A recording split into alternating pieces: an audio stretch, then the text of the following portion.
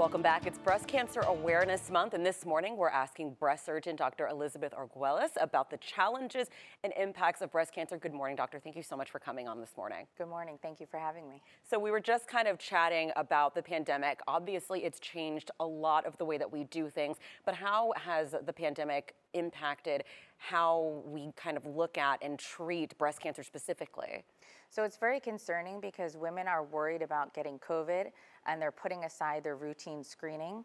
So they're not doing their breast exams, they're not going and getting their mammograms, they're not seeing their doctors. So women are actually presenting to our offices with cancer at a later stage when it's harder to treat.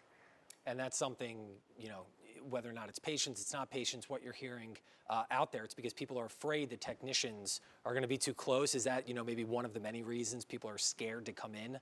Absolutely. They're telling me that they don't want to go to the imaging facilities. They're worried they're going to pick up COVID there.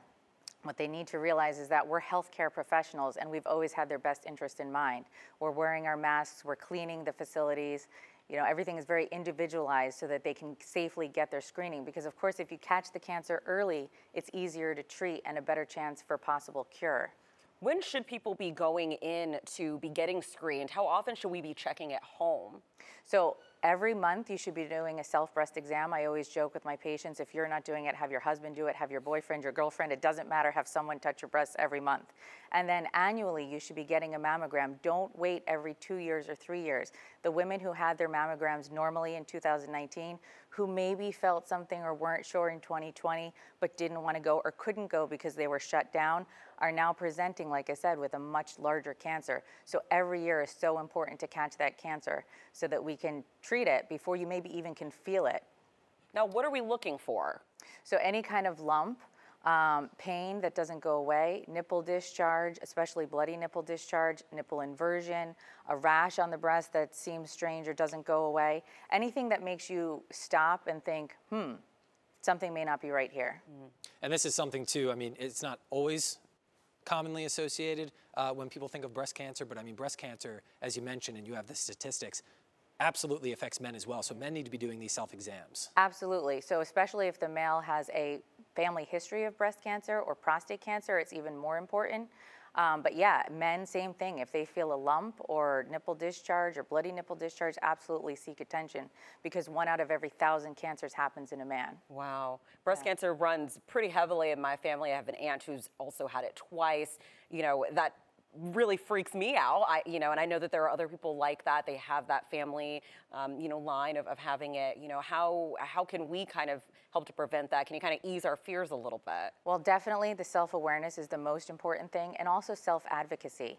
So women who have or men who have a family history of breast cancer should be starting their screening at least 10 years younger than their first degree relative, like a mother or sister. Mm-hmm. Um, they may also want to ask their provider if they qualify for any additional screening, like ultrasounds to help cut through breast tissue, or even MRI screening.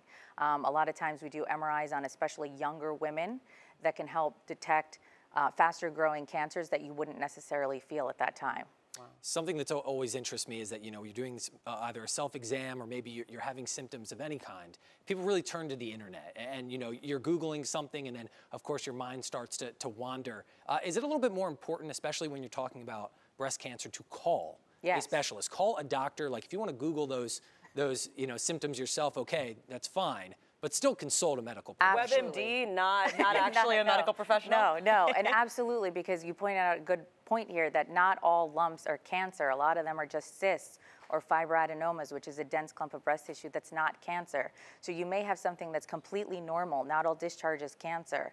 You know, so not everything is something you have to be afraid of. Um, but if you go to a doctor who can get you worked up, we can figure it out and then we can get you the help that you need. Yeah, don't just turn to Google because I mean, you know, a lot of people do. I mean, it. I'm, I'm guilty. guilty. yeah. I'm 100% guilty. Where I'm like, well. there's snot coming out of my nose. What is this?